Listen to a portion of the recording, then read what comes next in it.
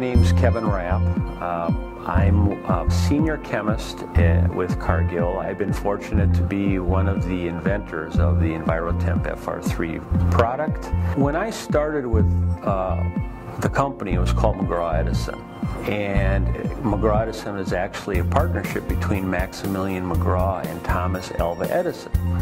And we, we had a real inventive type of mentality at the Technical Center uh, in Franksville, Wisconsin. The initial mission of the FR3 product development was to uh, look for a dielectric insulating liquid to replace the high molecular weight hydrocarbon uh, fluid. FR3 fluid is a blend mainly of soybean oil and three performance enhancing additives, one for oxidation stability, one for uh, operation at cold temperatures, and then a dye to dye it light green to differentiate it from the fluids that it's replacing. The fluid is a balance of properties.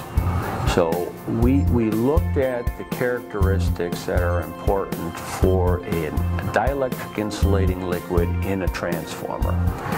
And of course you have to have uh, uh, oxidatively stable fluid to last for the entire life of the equipment in a sealed uh, uh fashion. And it has to operate effectively also at cold temperatures. Uh, FR3 fluid had the balance of properties when we did the testing in, in our developments.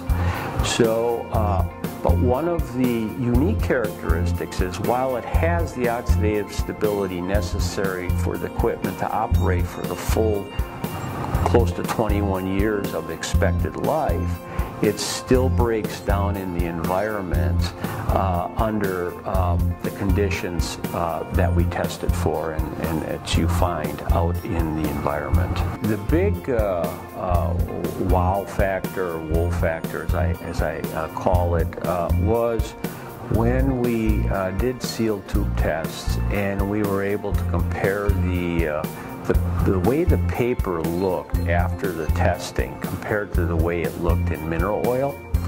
And uh, the, the, the, paper is just a stark comparison between uh, how good it looks in FR3 fluid and, and how it looked in mineral oil. And the sealed tubes are a replicate of what happens in an actual sealed power transformer or distribution transformer so uh, we knew that we were really on to something when we saw the way that paper looked. A very key attribute of FR3 fluid is its ability to uh, absorb water from the insulation system of a, a transformer. The solid insulation uh, in a transformer made from cellulose is what determines the life of the transformer. So anything we can do to protect the solid insulation, we're protecting the transformer. Now, one of the very damaging uh, things about a, uh, operation of a transformer to the solid insulation is the, uh, the generation of water in the cellulose during thermal breakdown.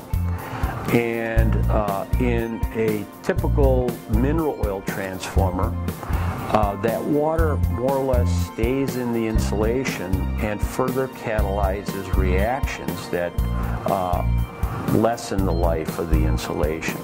Compared to FR3 fluid, which absorbs the water out of the insulation, and not only does it absorb the water, but it destroys the water. And that's a key attribute. And when you hydrolyze a vegetable oil, you use up the water and you make a byproduct. So the key is you get rid of the water so it cannot further damage the solid insulation which determines the life of the equipment. When we looked at the life cycle cost of the fluid, compared to the mineral oil that everyone compares it to, we find that uh, it has a uh, practically a, a carbon neutral. Uh, uh, so that uh, that carbon neutrality compared to the, uh, the, the, the, positive uh, carbon input into the environment from the mineral oil is, is really something that you can put dollars and cents on and we can actually show uh, financial benefits uh, through, uh, through owning a green transformer. It's really near and dear, the environmental characteristics to me. I think all of us actually want to make the world a better place to live. And this actually does make the world a better place to live. It's safer, the environment is, is better off with it compared to the fluids that it's replacing. So at the end of the day, I, you know, I can, I can be pleased with uh, all of us in what we've done to help the world be a better place.